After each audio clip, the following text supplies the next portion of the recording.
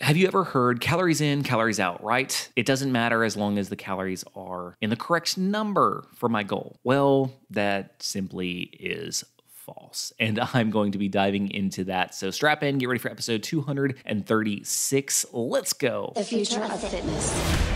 How do you gain muscle mass? Fitness is not complicated. It's simple when you break it down. There's so much information out there.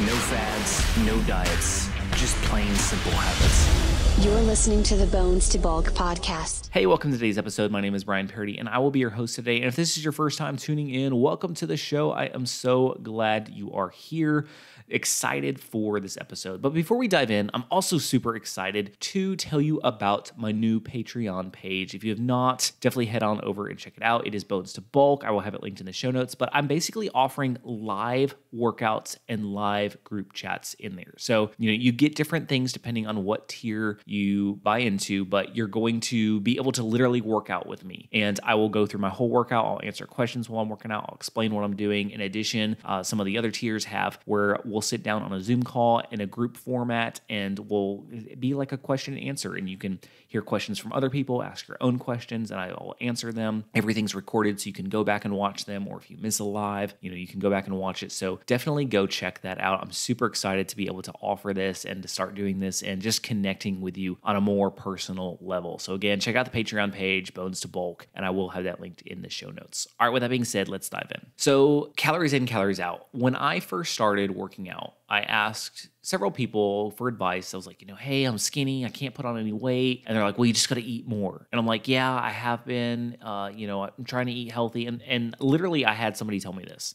in a gym, and I don't think he meant any harm by it. He was a he was a massive dude. That's why I kind of went up to him and even asked him in the first place because I'm like, dang, I want to look like that. And I was like, you know, what what do I need to do? He's like, you just need to eat more. And I was like, oh, I'm trying to eat clean. And he was asking me some questions. He's like, well, just don't worry about eating clean. Like just eat food like shakes and burgers and pizza and just get in calories. And I had done that. I when I started, I ate so unhealthy. It would blow your mind how unhealthy I ate. It makes me cringe just thinking about it. I would literally probably drink 60 to 70, maybe more ounces of soda a day. I would eat so many of those little Debbie snacks. Like it was insane. I would eat Oreos. Literally, I'm not kidding. Sometimes I would eat an entire sleeve in one sitting. I would, and, and again, I'm not joking with this. I would sometimes buy a half gallon of ice cream and have that for dinner. I'm talking the whole half gallon of ice cream. An insane amount of calories. And guess what? My body composition never changed.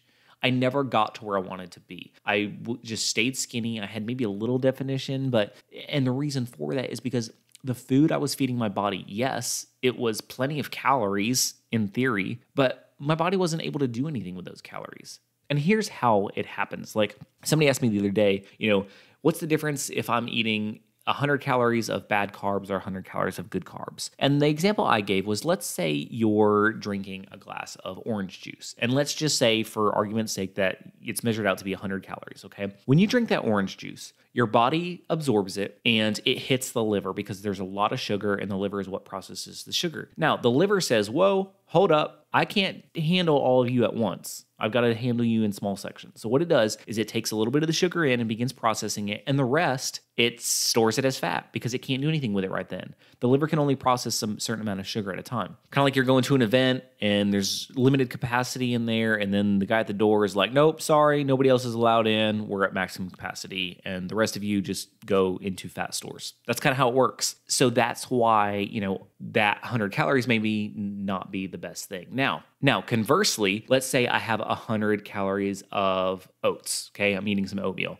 Oats are loaded with fiber, which causes your body to process them very slowly. So I'm not getting that instant sugar rush to the liver. My body is slowly absorbing it, slowly, you know, processing it through the body because it's a lot of fiber the empty stuff will get just passed through me, the stuff my body can't use, and then it's going to pull the nutrients to the muscle cells, to my body cells, so I have energy, and it's going to be used in good ways, ways that my body can use. Where this really comes into play is let's say I'm trying to gain weight. Well, obviously, if I have a fast metabolism and struggle to gain weight, my body's really not storing it as fat. Well, it is. It's, you know, if I drink the orange juice, my body's still storing it as fat, but what happens is my body burns that off. And so I just stay skinny. You know, those calories aren't being absorbed by the muscles. It's not helping my muscle growth. It's just, well, stored as some fat and then the body burns off the fat. Sounds cool, right? Like I know people all the time who are overweight say, oh, must be hard being skinny. Well, it's just as difficult to put on weight because you still have to eat freaking extremely clean and healthy. And it's just as much work as is weight loss. Both sides of the spectrum are very difficult. Now, let's say the reverse is true. Let's say you're not prone to be skinny and you don't have a fast metabolism. Well, that 100 calories gets stored as fat and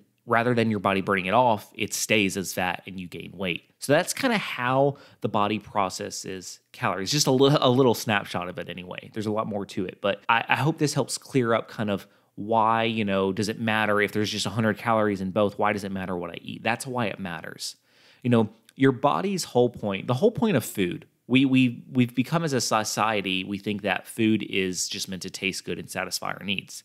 In reality, food is simply our fuel. And you've got to change your mindset with how you think about food. I'm not saying you can't enjoy food. I know I enjoy food. I enjoy cheat meals. I enjoy things that don't do anything for my body. But your overall viewpoint of food, you have to think about this is to fuel my body and make me a better person. Think about animals. Animals eat food. Why? To stay alive. They don't, you know, tackle a lion doesn't tackle a zebra and eat it because it's like, mm, zebra steaks. It's like, no, I've got to, you know, kill the zebra and eat so that I don't die. That's the one sole goal of eating for animals. We, I'm not saying we have to approach it quite as dramatic, but you get the point. Like, we need food to survive. We need food to fuel us. And so if we're just giving our bodies crap that it only can pull a few nutrients from, then of course it's going to get stored as fat or just run through our body if we have fast metabolisms. So you've got to change your mindset with food. Think about how is this food benefiting me? If I eat a couple Oreos, I can't expect my body to be able to pull nutrients from that and actually benefit my body. It's not. It's not going to,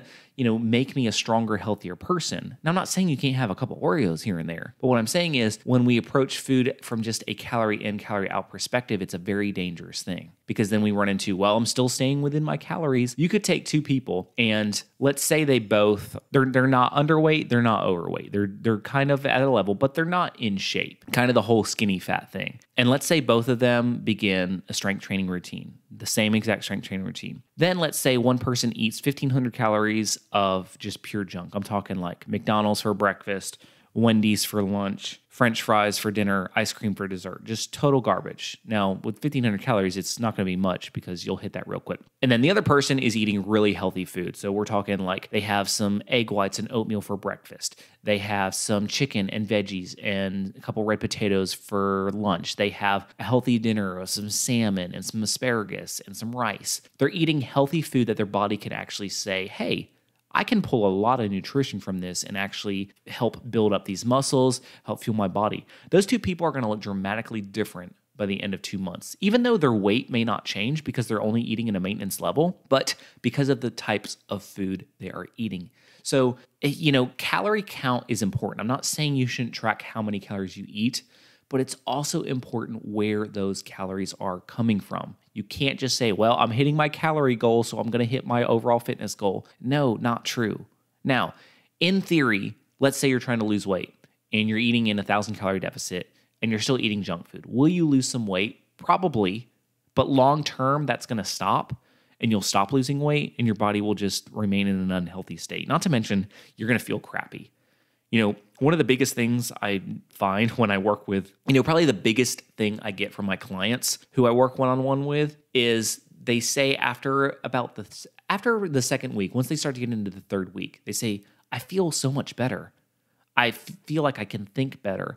I feel healthier overall. I don't feel blah. I have more energy. You know why? Because the food they're beginning to give their body is actually fueling them and promoting their health. Their body is being able to run so much more efficiently. It's like putting water in a gas tank or like a premium high quality fuel. It's going to run a whole lot better So I hope this helps. I hope it maybe clears up some misinformation. If you have any questions, feel free to hit me up. I am everywhere online at Bones to Bulk. You can hit me up Instagram, Facebook, TikTok, Pinterest, YouTube, you name it. Uh, I would I, I try to respond to all my messages. So if you have any questions, again, feel free to reach out to me. And again, check out that new Patreon page. I'm super excited about it. Again, I'll have that linked in the show notes. Remember, no matter what you're going through, what is maybe causing you some grief, what you're struggling with, you can overcome any obstacle that stands in your way.